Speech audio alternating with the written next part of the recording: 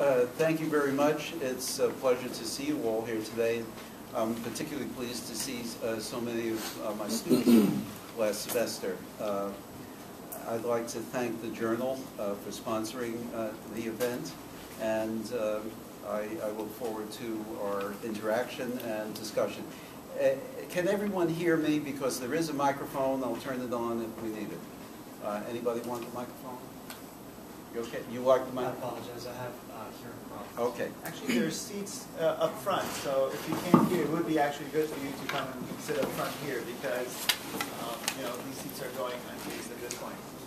It's like church.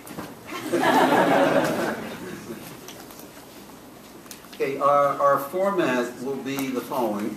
Uh, I'm going to make a five-minute introductory statement, uh, and then uh, Professor Mostashari uh, will uh, make a five-minute uh, statement about uh, his views on this issue, and uh, Chris will uh, make a, a similar statement, five minutes, and following that, we'll enter into discussion and continue that until about a half past the hour, when we'll open it up for questions, and we'll see how this goes. So um, let me get started. Uh, I'd like to say, first of all, that um, this panel could not be more current or critical uh, in terms of uh, current issues and world stability. If you look at the New York Times this morning, the lead story headline in the New York Times today is that um, the U.S. increases pressure of economic war on Tehran. Those are fighting words. Um, the lead story in this morning's edition of the New York Times states that the outlines for a nuclear deal have been clear for months. And th- this is what they outlined for such a deal.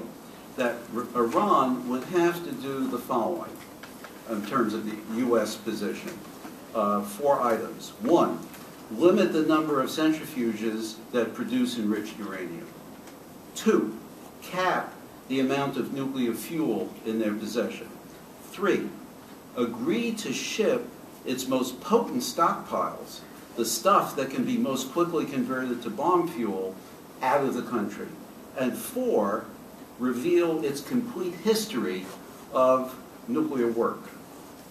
In return for this, the United States says that Iran would get an acknowledgement that it has a right to peacefully enrich uh, nuclear uh, fuel, and the U.S. would gradually lift the sanctions. In response, the Iranians say that the, the sanctions must be uh, lifted first. Now, uh, just last week, Iran announced that it